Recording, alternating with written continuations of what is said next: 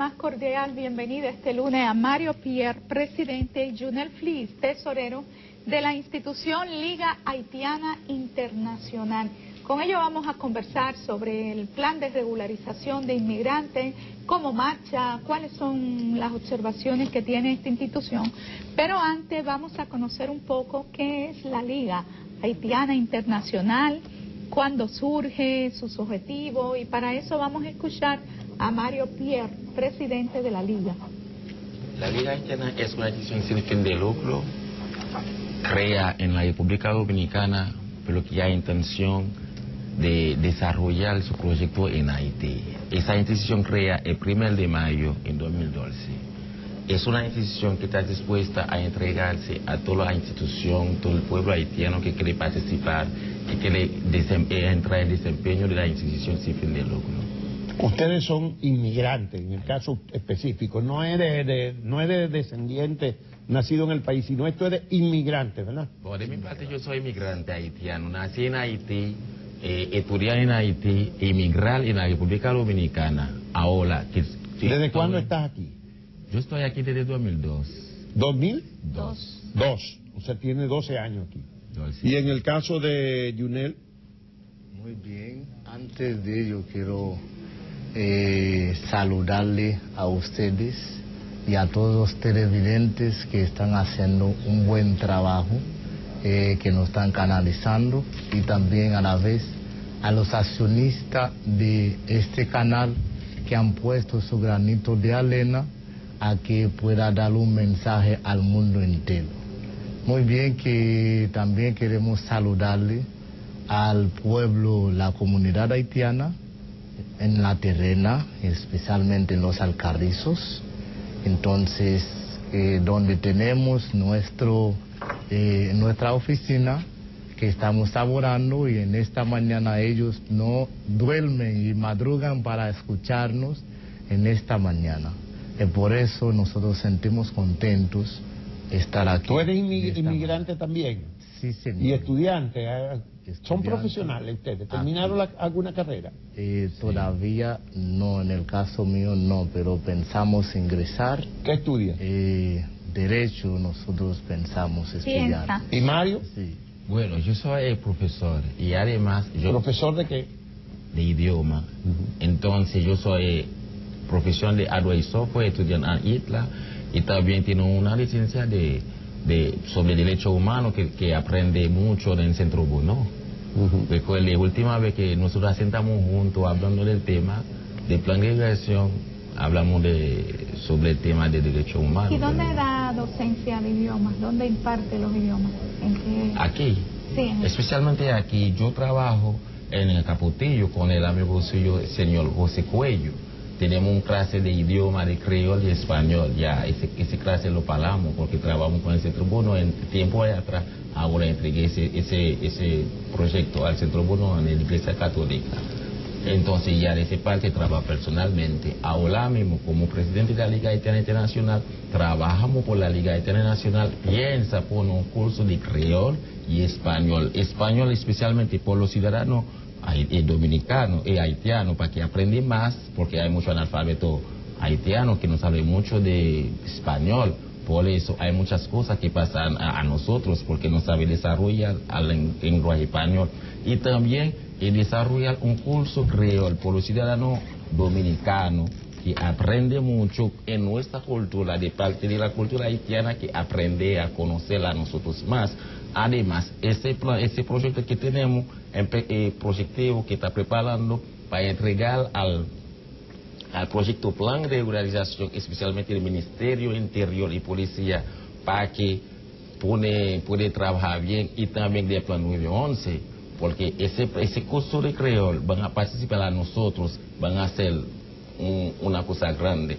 Además, van a desarrollar todos los proyectos que tenemos, como que tienen que desarrollarlo. Eh, en el caso de Yunel también, ¿cuántos años tiene aquí Yunel? Bien, eh, la primera vez emigré hacia acá, en este país, vine en el año 95 hice como tres meses y luego y volví a mi país. Después en el año 2000, en el año 2000 eh, tenía una visión de que estudiaría, hacer una carrera para ser un teólogo, a la vez pastor, porque somos cristianos.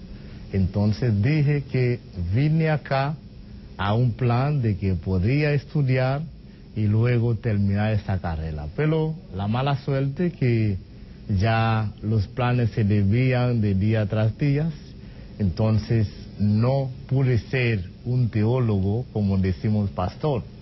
Pero gracias a Dios eh, terminamos el estudio en el año 2000 eh, a 2004 eh, y también nosotros no estudiamos nada hasta ahora, pero ahora por cierto abuso que estamos viendo, por falta la eh, conciencia del ser humano, nosotros pensamos estudiar el derecho. Ya. ¿Por qué? Bueno, entonces ustedes ambos son inmigrantes. La liga agrupa inmigrantes. No hay ninguna duda que son inmigrantes. Inmigrantes. Y ustedes están entonces ahora trabajando por ayudar a sus compatriotas a eh, atender a- al llamado a la regularización que ha hecho el gobierno dominicano.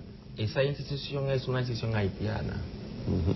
Solamente a un solo dominicano, pero es una institución haitiana. A todos los haitianos que, que, que están dispuestos a integrarse en, en nuestro empeño, tienen que integrarse. Porque nuestra misión es ayudar a los ciudadanos haitianos a regularizar su documento en cualquier país del mundo que están. ¿Existen otros países esta liga? La liga... Especialmente esta decisión creada aquí en la República Dominicana es una decisión dominicana, pero nuestro sueño es desarrollar el mundo entero, porque nu- nuestro plan, segundo, tiene que enfrentarlo en Haití. Ese es el objetivo general. ¿Cómo Eh, enfrentarlo en Haití? En, eh, plantar. Implantar. Ah, implantarse. implantar. Sí, O sea, el objetivo de ustedes es volver para Haití entonces. eso es.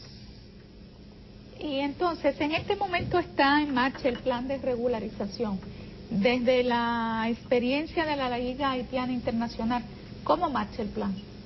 Bueno, yo personalmente como presidente de la Liga Haitiana Internacional participo con el plan alistamiento el día del 5 de, de junio.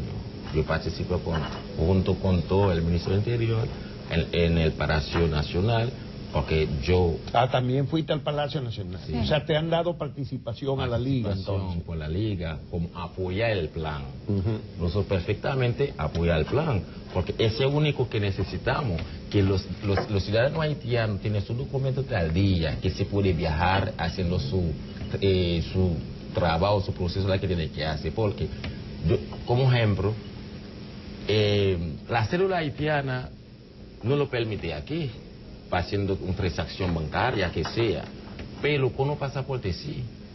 Entonces, como ejemplo, con esa célula que van a dar, con el documento que van a dar, mejor, porque no firma la residencia por los ciudadanos haitianos, por eso que aceptamos y aplicamos y, y apoyamos el plan, eso es buen plan.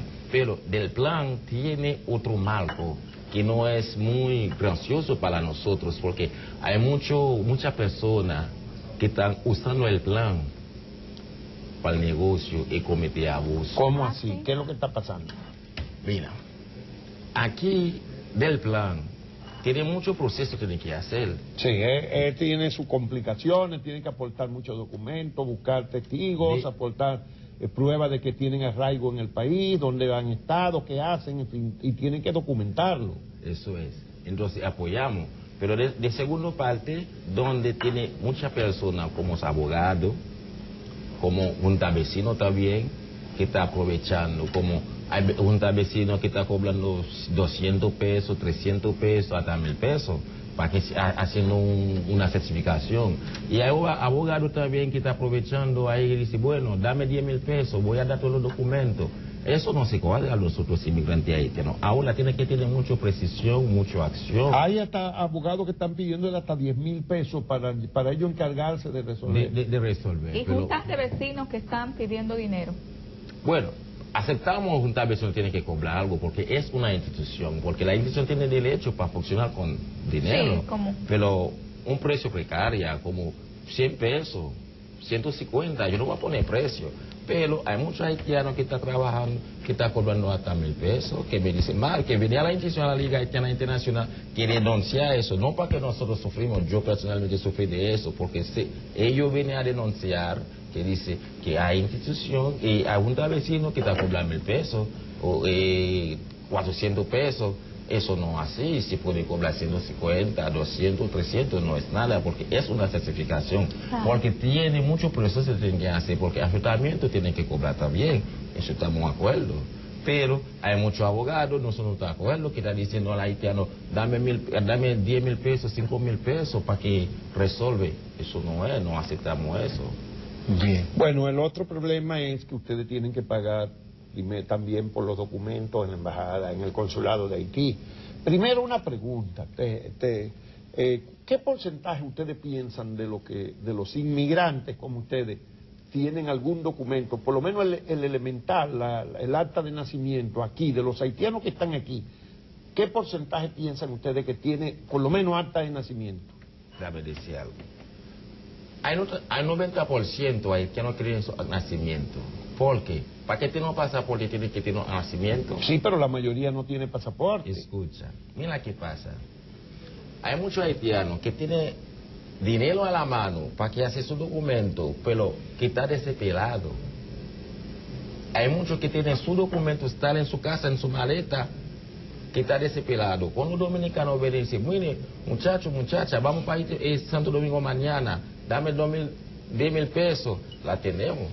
¿Para qué coge tiempo? Va a explicar la, que- pregunta. ¿Para qué coge tiempo para hacer esos documentos? Le entregue, ese de todos los documentos ahí ya están aquí a la República Dominicana indocumentadamente. Entonces, hay 90% haitianos que tienen sus documentos porque en, nuestro pueblo, de que nació el niño, entrega su nacimiento. Pero hay muchos que están en campo, esa es verdad, lejos, que el gobierno no llega, que no tiene.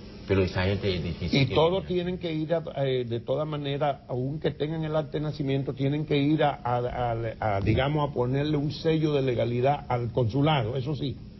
De- ¿O no es necesario? Para el proceso de regularización, no, ¿tienen que ir a buscar una certificación de que esa acta de nacimiento es válida o no? de esa Eh, parte no, no En, sabemos. en ese No se sabe. Entonces, si la liga, ustedes han estado hasta, hasta en el palacio y en las actividades No, del Ministerio de- de Interior y Policía, y ustedes no saben eso. De esa parte no sabemos, ¿por qué? Porque en todo documento que lo pide, que nosotros como Liga Haitiana Internacional ayuda a los miembros, pero para ir a buscar un documento para la embajada, yo no sé, la que sabe para la embajada.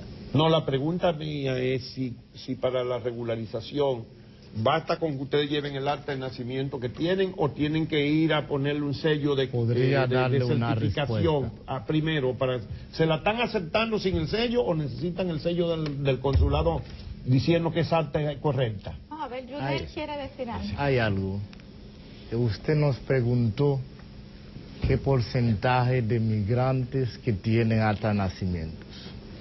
Un inmigrante, quizá muchas veces, están saliendo, no piensan de que necesitan los documentos. Y entonces salen en cuero, como decimos. Cuando llegan aquí, en el país, la verdad que no tienen los documentos, Pero no tienen entran nada. entonces pagándole a alguien que lo deje entrar Exactamente, sin sabemos- ningún tipo de documento. Sabemos el macuteo, cómo se funciona exactamente. Hay personas que viven de eso directamente. Entonces, a través de eso, la persona no piensa en mañana de que esos documentos le van a hacer falta. Y por eso, ese afecta de que, que la persona no tiene eh, de nacimiento. En Pero el caso de ustedes, ¿ya empezaron el proceso de regularización? No, por, ejemplo, ahí que vamos. Por ahí que vamos. Entonces, eh, con el terremoto que pasa en Haití, hay muchos registros civiles que se perdieron. La persona que tiene un acta de nacimiento que no está registrado, te dan eh, un registro civil otra vez. Es por eso, dice, desde eh, lo- los actas de nacimiento del año 2007 en adelante, usted tiene que poner lo que se llama eh, un registro civil en ese acta de nacimientos. pero no porque uno tiene que poner un sello, no, es eso después que pasa ese terremoto. Bueno, pero eh, usted entonces, ustedes sostienen que el 90% tiene arte de nacimiento. O sea que la- Exactamente, sí. lo que dice la encuesta nacional de inmigrantes entonces está más o menos lo correcto. Estableció creo que era un 92%. Pero ellos dicen que, que una cantidad eh, vino al país de manera ilegal y no trajo sus No documentos. trajo. Sí, claro, hay una parte Pero que no tienen, lo tiene. exactamente. Pero hay otra parte que ha ido a buscarlo, porque tengo entendido que ha- en los últimos años, por las presiones que ha habido aquí, mucha- muchos eh, que vuelven a Haití, entonces se proveen del arte de nacimiento antes de regresar. ¿Es cierto eso? Se provende. Le buscan allá un arte de nacimiento, que ya vinieron alguna vez sin arte de nacimiento, pero que la han buscado allá después. Perfectamente. Otro porcentaje, ¿es cierto? En el Sí. caso mío yo hice eso. Vamos a ver, ¿cuál es el caso tuyo? En ¿Qué- el caso mío hizo eso. Cuando vine aquí no tenía ningunos papeles. Luego, cuando pensé reingresarme al estudio y fui a buscar todos mis papeles. Entonces, para entrar en ese plan también, muchas personas han ido a buscar sus papeles que necesitan para eso. Ahora bien, nosotros estamos en calidad, la Liga Haitiana, eh, para este abuso que venimos a denunciar. Como Liga Haitiana dice, nosotros defendemos al pueblo haitiano en cualquier país esté. Ya en el plan de la regularización, lo que queremos pedir al gobierno, Danilo Medina, que está haciendo un trabajo especial, como él lo dice, nunca se ha hecho, eh, le agradecemos por eso. Entonces, en el plan, como han puesto muchas cosas que le hace la dificultad al pueblo haitiano hacerlo. Pero señores, si nosotros pedimos eh, para tener una cuenta bancaria, ¿cómo usted tiene que hacerlo? Si usted no tiene ningún documento, no bueno, lo puede que pasa, hacerlo. Phil, es que no todo, no es imprescindible tener una cuenta bancaria. Lo que el formulario es, presenta una serie de opciones. El que tenga, Dos. por ejemplo, si tú tienes el acta de nacimiento, la cédula y el pasaporte, tú estás de robo. Ahora, el documento no dice el, el requerimiento que tiene que tenerlo los tres, pero sí pone acta de nacimiento, cédula, eh, pasaporte. El que tiene los tres va con ventaja, pero eso no quiere decir que si tú tienes uno o dos, ya está descalificado. En los cinco Entonces igual, te dice, usted tiene eh, vivienda, contrato de alquiler, eh, cuenta bancaria, y, y pone 10, 12 cosas. No es que haya que tenerlas todas. Sí, lo que hay entendemos. gente que piensa que hay que tener todo Pero, eso. ¿qué es lo que está pasando en las oficialías cuando ustedes van? ¿Qué le piden? Eh, lo que han ido, dice, han ido 300 personas, solamente escogen 50. Porque la liga, todo el mundo han traído la queja a nosotros. Y por eso estamos aquí eh, acompañándolo. Especialmente lo sabemos que ellos están escuchando ahora en este momento. Usted dijo algo que es muy importante. Sí, muchas veces usted paga una casa de alquiler. Los mismos corredores no te dan un recibo. Los otros días hicieron esa pregunta en la asamblea de nosotros el martes pasado. Eh, una señora dice, yo vivía allá eh, en, en vivienda, pagaba una casa. El corredor llegó y vino a cobrar sin darle nada. Entonces, ¿cómo va a tener una constancia de que ya... eso es un problema que hay, muchas cosas son así. Perfectamente. así. Pero hay muchas cosas más, por ejemplo, la- el- le piden una carta de una junta de vecinos, puede ser una carta del párroco o del pastor de la iglesia, puede ser eh, una, de- una constancia de que usted tiene contrato de, de servicio de, de, eh, electricidad o de telecable o de teléfono. O sea, hay muchas opciones que presenta el formulario. Y ese plan ahora que está entrando por el barrio nosotros en Alcarrizo, porque antes nadie no tenía contrato, es ahora el contrato. Exacto, pero si tú no tienes el recibo de la casa, pero tú tienes eh, un contrato que dice que tú tienes el telecable o que tú tienes teléfono, evidentemente que eh, te van a aceptar que tú vives ahí, porque si no, aunque no te den un recibo de pago, si tú tienes el contrato de- del teléfono, indica que sí, tú vives ahí. Señor Bolívar, se escucha.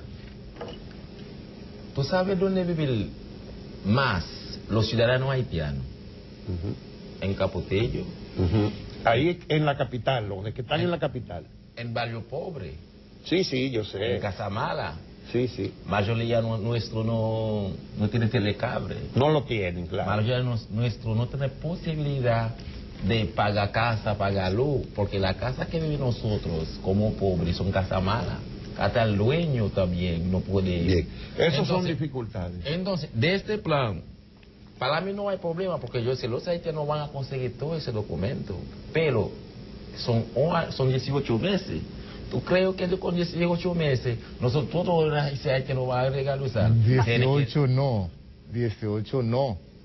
Cuando empezó, cuando hablaron del plan, eran 18 meses. Ahora no quedaron ni 10 meses. Ya Bueno, quedan vamos- como vamos 10 a ver, meses, creo que hasta febrero. la- Sí, El tiempo hasta se febrero. nos agotó, pero muy brevemente vamos a ver cuáles serían las solicitudes al gobierno dominicano y al gobierno Porque, por haitiano? ejemplo, el gobierno haitiano ha nombrado un equipo de asesoría, de abogados, de personas para ayudar a todos sus nacionales, como tendría que hacer si fuera la República Dominicana en Puerto Rico o en Nueva York, que debería, no siempre lo hemos hecho tampoco nosotros, pero no debería el gobierno haitiano eh, tener una oficina para ayudarles. Eso es, porque estamos hablando de eso. Porque hay dos cosas antes de responder. Ahí en el Alcarrizo no tiene ninguna oficina del Plan de Regulación Extranjero de los dominicanos. Nosotros ya que le que abre la puerta, eh, se iniciar en el Alcarrizo. También el gobierno haitiano tiene que iniciarlo también, y por eso nosotros estamos pidiendo a, a ONU, a OIM y a OEA y la embajada haitiana, el gobierno haitiano, que se inicia el plan. Porque, Que- que, que- se inicia el plan. En los Alcarrizos, ¿qué, eh, qué cantidad de haitianos residen en los Alcarrizos? ¿Tienen ustedes información? Sí tenemos en la estadística nosotros, eh, nosotros la encuesta que se hizo, 13 mil eh, haitianos, inmigrantes haitianos que tenemos. Y nuestro proyecto va a ser también a base de 13 mil inmigrantes que tiene en ese lugar. Y hay algo nosotros en el mismo tenor, eh, venimos aquí para eso. Eh, dentro del plan queremos que facilite a los inmigrantes haitianos eh, la mejoría dentro del plan para que todo el mundo tenga la facilidad tener Ustedes lo que ese tienen es más documento facilidades. en la en y el ustedes plan de le la pidieron, ustedes fueron de los que fueron a la embajada de, de Haití para pedir que bajaran los costos que estaban cobrando también. Han bajado ya algo, Sí, ¿verdad? han, han- Nosotros han no. hecho eso, pero nosotros no. Nosotros no, no, nosotros no le gusta participar de cosas que no, que, to- que ya está muy claro. Porque para mí, si el gobierno haitiano pide 2.500 pesos por el plan, para nosotros en la Liga Internacional, para mí no es nada. ¿Por qué? Porque no- nosotros dicen, bueno, el plan dice es gratis, pero en realidad no es gratis. ¿Por qué? El abuso del celo que se hay. cobra, pero se cobra impuesto. Nosotros no son brutos, se cobra impuesto, no son gratis. Hasta lo mismo. Entonces apoyamos, apoyamos el plan gratis, pero por eso apoyamos también, si el gobierno haitiano está cobrando 2.500 pesos por- para recibir por el plan de realización por los haitianos que le entregue un pasaporte, un acta de nacimiento y una célula haitiana, se cobra 2.500 pesos a su favor. Porque el gobierno tiene que cobrar impuestos también, depende cómo eh, o ella... O sea, ustedes entienden que si le dan los tres documentos por los 2.500 Está pesos, todavía ustedes lo aceptan. Entonces, Porque mucho bueno, mejor. Los haitianos están esperando a eso, porque los haitianos están esperando. Bueno, vamos a dejarle las puertas abiertas para que otro día vuelvan cuando tengan alguna otra expresión, otra demanda o otra preocupación. Ustedes han denunciado incluso que hay, se están creando, ya diríamos que mafia de abogados que están eh, tratando de, de- de cobrar más dinero de lo que ustedes están en capacidad de pagar, que hay en juntas de vecinos, que están pidiéndole dinero también para em- emitir certificados de que ustedes viven. En fin, ojalá que puedan ir resolviendo estas cosas. Ustedes están en colaboración con el Ministerio de Interior y Policía y con el gobierno dominicano, de manera que ustedes deben de llevar esa querella directamente. ¿La han llevado directamente también? Todavía es la primera, es la primera vez que nosotros hacemos denuncia, pero vamos a hacer un proceso porque sabemos dónde llegarlo para el Ministerio de Policía. Bueno, pues vamos a agradecerle muchísimo a Mario Pierre, presidente, y a Yunel Frilaimé, el tesorero de la Liga Haitiana Internacional aquí en la República Dominicana, eh, que agrupa inmigrantes, inmigrantes haitianos, por haber venido a conversar con nosotros. Le deseamos muchos éxitos en ese, en ese trabajo que están haciendo de apoyo a sus compatriotas para que puedan acogerse al plan de regularización que ha abierto el gobierno dominicano. Muchas gracias. Muchas gracias a usted. El tema de eh, Loma Miranda sigue en el debate, aunque la decisión, si hay explotación o no, ha sido pospuesta, porque incluso se quedó para la próxima legislatura la ley que declara o no como eh, Parque Nacional. Para conversar sobre este tema desde una visión de una de las partes, contamos con la presencia de Rafi Bueno, que es secretario de Finanzas del Sindicato Unido de Trabajadores de la Falconbrick Dominicana, una parte muy importante y que tiene algo que decir.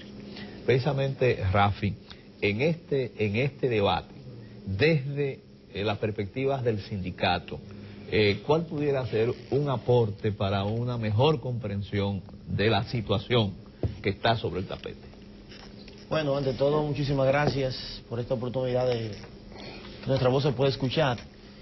Y Juan Bolívar, permítame expresarle que soy un hijo social suyo. ¿Un qué? Un hijo social, ¿De verdad? suyo, así que Y tengo nietos por ahí también. bastante, bastante. De manera que eh, sentimos una gran admiración por su persona. Muchas gracias. Por su equipo realmente que le acompaña, señor Rafael. Y nos sentimos en confianza eh, de compartir con ustedes.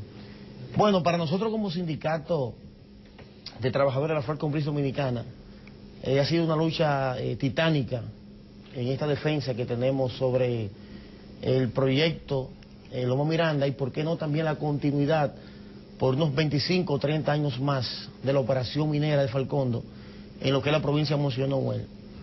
Digo que ha sido, ha sido una labor titánica porque es lamentable, Juan Bolívar, percibimos como que ha llegado un tiempo donde a lo bueno se le llama malo y a lo malo se le llama bueno. Porque en el caso de la empresa que, en la cual laboramos, eh, Falcondo, es una empresa que, con la cual hemos convivido por más de 58 años, desde el momento que llegaron los inversionistas y que se dio esa concesión en el año 1956 hasta el día de hoy, son 58 años que la provincia de Monseñor Noel ha convivido con, con esta empresa. Y realmente los resultados están ahí. Falcondo ha hecho una operación minera perfectamente en equilibrio con lo que es la agricultura, la conservación de, de las aguas, la conservación de la fauna. Sin embargo, eh, hay grupos que se oponen a esta empresa, siempre se han opuesto y siempre buscan un, un momento, un, un argumento para oponerse. Y ahora es el caso de Loma Miranda. Sin embargo, nosotros entendemos de que, así como Falcondo lo ha hecho perfectamente bien en las demás eh, lomas, vamos a, a así, donde ha intervenido en su operación minera, ¿por qué no hacerlo bien ahora también en Loma Miranda? Cuando los riesgos de, de impacto ambiental son sumamente menores en Loma Miranda que en las otras montañas donde Pero no parece que sea así, porque la, la, todos la- los estudios y, y los planteamientos de la Academia de Ciencias, de la Universidad Autónoma, en fin, de, ecologistas, es que en Loma Miranda particularmente hay más riesgos de, de daño al medio ambiente que en las otras lomas. Yo creo que las otras lomas no, no tienen la misma característica ecológica eh, de Loma Miranda, ciertamente. Bueno, ese es un tema muy interesante y por eso estamos aquí. Eh, a la población se le ha vendido eso, Juan Bolívar. En el caso de Loma Peguera, Loma Caribe, Loma Ortega, que son en las, en las lomas donde Falcondo ha, ha intervenido, en esas montañas donde estamos nosotros hoy día, y hay que ir a la planta, Falcondo ha abierto las puertas para que el país vaya y visite, nacen ríos y arroyos dentro de la operación de Falcondo, en el corazón de la planta nuestra, nacen ríos y arroyos. Y durante 50 años esos ríos y arroyos nunca se han contaminado, Juan Bolívar. El río Yuna atraviesa la mitad de la, de la planta nuestra, Bueno, sabemos que Iboa contaminación no hay, porque no, para que pongamos las cosas claras. Sí, perfecto. Ahí no es como en la, como el oro que necesita químicos. Ahí es, sacan tierra, le Perfecto. sacan el mineral y, y la tierra la tapan. Exactamente. Ahí no hay contaminante en esa Exacto. naturaleza. Lo que hay es explotación boscosa Eso de una sí. zona. Eso sí. Bueno, exactamente, pero el caso es que lo que se le ha vendido a la, a la, a la, a la población, al país, que Falcondo va a contaminar todas las aguas prácticamente del país, prácticamente del país. Yo escuché a una comunicadora en tiempos atrás, una comunicadora muy prestigiosa, y ella decía que de, de llevarse a cabo la... Ellos le llaman explotación, nosotros decimos extracción, porque el término explotación es como Pero aterrorizador. no se enreden en, la, Sí, exactamente. El caso es que esa comunicadora decía que de llevarse a cabo ese proyecto minero en Loma Miranda, el equilibrio ecológico del país sería afectado y que todas las aguas del país iban a ser contaminadas.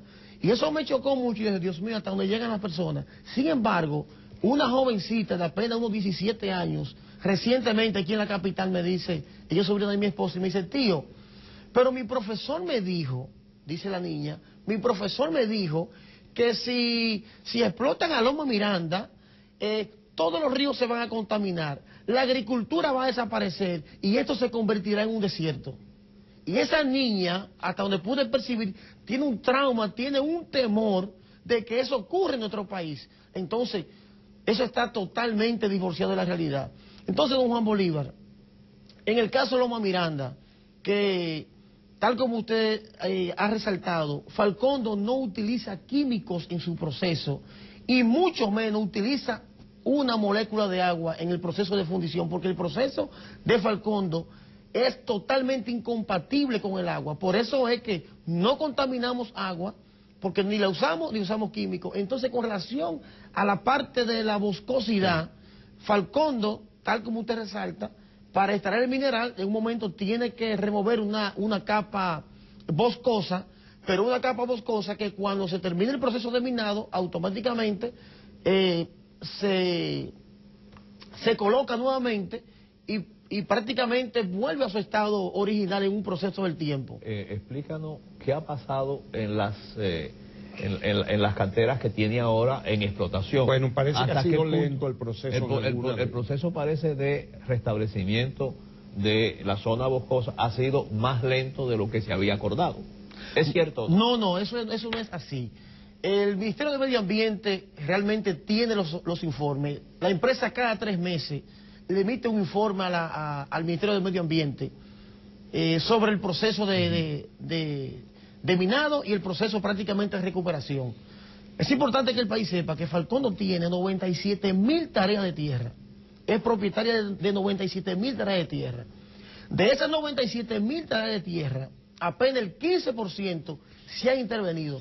Todo el resto nunca se ha tocado, porque Falcondo lo utiliza como un, como un amortiguamiento ecológico. Pero ¿qué ocurre? Que de ese 15% que se ha utilizado, ya el 53% ha sido recuperado. ¿Qué ocurre? Hay áreas abiertas porque son áreas que todavía tienen, tienen minas en la tierra. Entonces, ¿para qué cerrarlas? Bueno, eh, Rafi, ¿por qué no vamos a los aspectos puramente sindicales? eh? Sí. Porque al fin de cuentas, eh, y tú se ve que conoces bien la situación, eh, pero tú eres dirigente del sindicato de trabajadores. ¿Cuántos son los trabajadores hoy día y cuántos son los que ya han cesado? ¿Cuántos perderían su empleo? Ese aspecto yo creo que es el que tú deberías de, no, concentrar tu atención. Sí, no, gracias. Nosotros en un momento dado éramos unos 1.600 empleados sindicalizados y unos 1.000 no sindicalizados, o sea, éramos unos 2.600 empleados directos en la planta. Hoy día, Juan Bolívar, de 1.600 empleados que teníamos en el sindicato, apenas somos 38. 38. Apenas somos 38. O sea que se ¿qué han perdido ya más de 1.500 empleos. ¿eh? Indiscutiblemente. Eso es para que el país pueda percibir el impacto Social. social, que eso, eso está teniendo en la provincia nuestra. Porque Falcón... ¿De esos qué porcentaje son de la provincia? De esos 1.500, porque muchos eran de la capital, ¿no? Bueno, así es, pero realmente podemos decir que el 85% de la empleomanía de Falcondo es de la provincia de Monseñor Noel, eh, y prácticamente el otro 15% es del interior, y empleados extranjeros en este momento que yo conozco apenas somos, son, son dos empleados extranjeros. O sea que la mano de obra en Falcondo eh, es, netamente, es netamente dominicana. Bueno, entonces, eh, ¿cuántos empleados eh, de lo del sindicato? De 1.600 quedan 38. Apenas 38. ¿Y del, y de los otros 1.000? Eh, unos 70 empleados. Necesitamos Ve hablando acá, de ¿Entonces 100 cuántos empleados tiene ahora mismo Falcón Eh, prácticamente unos 120 empleados por ahí. De o menos. 2.600. Exactamente. O sea que ya se han perdido 2.400 y pico. Esa es la realidad, Juan Bolívar. Y de esos empleos indirectos, ¿qué es lo que se representaba? Eso eran los directos. Sí. Bueno, según los estudios que se han hecho, que unas 15.000 familias directas eran beneficiadas por, eh, por las actividades mineras en Falcón. Unas 15.000 familias. No, pero eso ya es una exageración, porque 2.000 empleos directos, 3.000, no pueden que- de- eh, por- implicar a 15.000 familias. Por cinco. Pero bueno, Vamos, esa es la realidad. Bueno, eh, realmente en la provincia... ¿Qué es lo que, para explícale al televidente, qué es lo que es el, el empleo indirecto? Bueno, el caso es que a raíz de- del beneficio que nosotros generamos, pues uno de alguna manera pues va al colmado, va a la tienda, eh, usa el carro de concho, u- usa el motoconcho. O sea que hay muchas familias Los que se de benefician. belleza, sí, cosas. pues, indiscutiblemente, todos, eh, es un impacto directo, indirecto Yo quiero que, por la minería. que tú toques este tema, Rafi, porque es importante. Uno ve que hay sectores eh, a favor y en contra, pero uno ve como dos comunidades que están enfrentadas. Hay una comunidad, eh, Bonao, que parece que defiende que siga Falcón Bris, pero donde está Loma Miranda, eh, hay La Vega, eh, como una tendencia a que no, a que no, a que no Una se- clara tendencia, Sí, una clara, tendencia. oposición, digamos, en la sí, provincia. Frente a eso, ¿qué, qué puede eh, argumentar o qué puede proponer el, el- el sindicato? Que a fin de cuentas va, va a haber una parte que va a sentirse lesionada, no importa la decisión que se tome. Eso es así. Bueno, nosotros en el día de hoy, Juan Bolívar, estamos aquí porque hemos visto, y es lamentable, que los criterios técnicos, los criterios científicos, realmente como que no están surtiendo sus efectos, porque se le ha dado un, eh, un matiz divorciado totalmente de la realidad, y como dijimos anteriormente, hay mucha confusión y mucho temor en la población. Y por eso nosotros como sindicato en el día de hoy estamos aquí y la propuesta es que queremos invitar a que una persona del, del país, entiéndase un López Rodríguez, el cardenal López Rodríguez, entiéndase un empresario como el, señor Pepín Corripio, que alguien lleve las partes a la mesa del diálogo. Tenemos que dialogar y de alguna manera, porque estamos muy distanciados y así no nos vamos a entender, tenemos que sentarnos y realmente evaluar qué es supuestamente, realmente, qué es lo que se va a afectar. ¿Se va a afectar de verdad o no se va a afectar de verdad? Pero si hay que hacer este diálogo frente a las cámaras de televisión, hay que hacerlo porque los grupos opositores a Falcondo realmente no quieren llegar a la mesa del diálogo y ellos lo que dicen es que Miranda Parque Nacional, aunque no reúna las condiciones. Entonces así no podemos, porque se ha dicho, Juan Bolívar, se ha dicho que Miranda es la madre de las aguas de República Dominicana. Y qué bueno, después que participamos en un programa con Uchi Lora, en días atrás, Uchi Lora le preguntó eso a Luis Carvajal y Luis Carvajal admitió que es cierto que Miranda no es la madre de las aguas, que ahí nace, por ejemplo, el arroyo Hawái, algunos afluentes que son intermitentes, pero se le vendió al país eso y el país creyó eso, pero realmente no es así. Por eso tenemos que sentarnos a mesa del diálogo. ¿Por qué, Juan Bolívar? Porque el aspecto jurídico del país y por qué no también el aspecto económico del país va lesionado. En Loma Miranda, Juan Bolívar, se, se, se dice que hay aproximadamente unos 5 mil a 6 mil millones de dólares en la propiedad de Falcondo solamente en producción de níquel.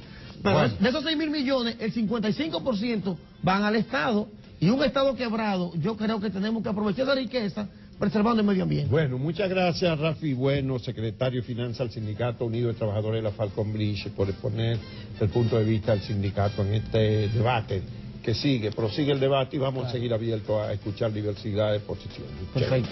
Vamos al diálogo. Damos la más cordial bienvenida al doctor Rafael Nina, abogado, defensor de los derechos humanos, es consultor jurídico del Ayuntamiento del Distrito Nacional y actualmente desarrolla una actividad social, comunitaria y cívica desde la organización conciencia cívica municipal. Bienvenido a Uno más Uno, doctor Nina. Hace un tiempo ya estuvo por aquí con una protesta muy singular y fue que transitó las calles de más de tres, 37 sectores de Santo Domingo Norte montado en un burro. Hoy vamos a hablar de un problema serio que hay allá en Santo Domingo Norte con unos terrenos, pero sería bueno ver, saber qué ha pasado con esa singular protesta del burro. Eso fue para, a partir del 18 de noviembre, que las 35 comunidades, yo cumplía 64 años ese día, me regalaron un burro para que entrara y penetrara a las comunidades donde las jipetas no entran, porque ahora los alcaldes que hay, los que andan en jipeta, antes el alcalde andaba en burro, porque podía estar más cerca con la comunidad, porque el gobierno local, el, el alcalde tiene que estar junto a las personas más humildes. Hoy no, hoy son potentados para desde ahí saltar a la presidencia. Los recursos no le llegan, eso provocó una conmoción en el pueblo que coincidió con la actividad navideña y donde quiera que yo llegaba, con guira, tambores y acordeón y el burro, decían llegó Jesucristo el Salvador. ¿Y han pavimentado las calles? No han hecho nada.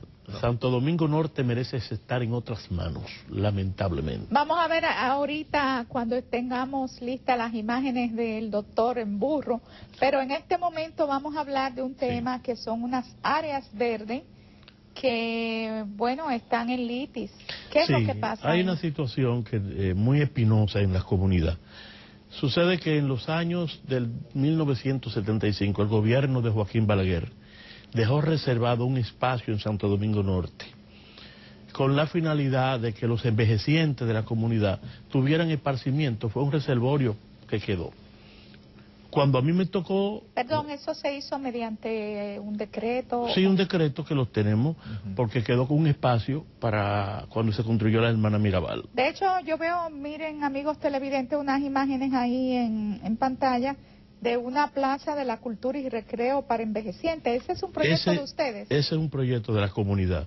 Es el espacio que el jefe de la policía, conjuntamente con el alcalde de Santo Domingo, lo, se lo han querido adjudicar, no de manera personal, para crear un destacamento que es transportar un mal a otro mal. Porque en esa esquina ahí es un cuello de botella donde hay una contaminación ambiental y demasiados vehículos. Ahora mismo ustedes van y eso es un tapón. Entonces quieren violar la ley. Por eso es que nosotros en el día de hoy vamos a romper la toga, porque no hay seguridad jurídica. Hoy los que tienen finca y los que tienen predio en Santo Domingo Norte están preocupados, porque si el jefe de la policía se presta a una invasión, a una transferencia de un bien que vale más de 26 millones de pesos, ¿qué dicen ellos? Si el jefe de la policía está invadiendo terrenos, ¿qué vamos a hacer nosotros? Invadir también. Pero el alcalde lo hizo mediante una resolución. ¿Qué han hecho ustedes? ¿En qué, momen- en qué momento se hizo esa transferencia? Ellos elevaron una resolución que según la ley 176 debe de ser publicada para que cualquier tercero que se sienta afectada pueda recurrirla, cosa que nosotros hicimos en tiempo hábil. Y el día 12 de diciembre del 2011 nosotros depositamos un recurso eh, para que se retracte o le dé la oportunidad para que la comunidad participe. No lo hicieron. Por lo moño, como Francisco Fernández está haciendo allí, porque allá no tenemos un alcalde, es un capataz, decidió transferir eso. Cuando la ley establece que usted tiene que, para transferir un bien público, tiene que provocar una vista pública o un cabildo abierto. Y que esas áreas verdes especializadas, que no pueden ser transferibles ni cambiar su uso, tienen que constar cuando pase por un valor de más de 5 millones de pesos con la aprobación del Congreso y del Poder Ejecutivo. El jefe de la policía se hace pasible, y Francisco Fernández, de la misma situación que padeció el actual alcalde de San- del Distrito Nacional, Roberto Salcedo, que el artículo 148 de la Constitución compromete su responsabilidad penal y civil. Sí. Por eso hoy ya nosotros elevamos un recurso de amparo ante el organismo competente y estamos elevando instancias ante el Tribunal Contencioso Administrativo porque no se retractaron y han tomado por los moños esos terrenos. Los niños, eh, bueno, el periodista Daniel Martínez presentó una gráfica el viernes pasado donde los niños están pidiendo no parque. ¿Por qué no parque, no, no destacamento ahí? Porque el espacio es muy pequeño y los departamentos tienen que estar a las afueras, según las normas de, de seguridad, a las afueras de la ciudad, no dentro del casco urbano, como el actualmente Palacio de la Policía resulta impracticable. Cuando se dan los conflictos entre la sociedad y la policía, cualquier transeúnte puede ser víctima de un balazo. Pero donde lo quieren instalar es donde hay una, población, que detrás de esa habitación, de la población, centenares de casas, que no van a tener tranquilidad. En, en estos momentos, ese bien público que estaba reservado para La- ese- esa finalidad, ¿en qué, en, en qué está ahora? rodeado de policía. Ahí no puede entrar nadie, violentando la ley.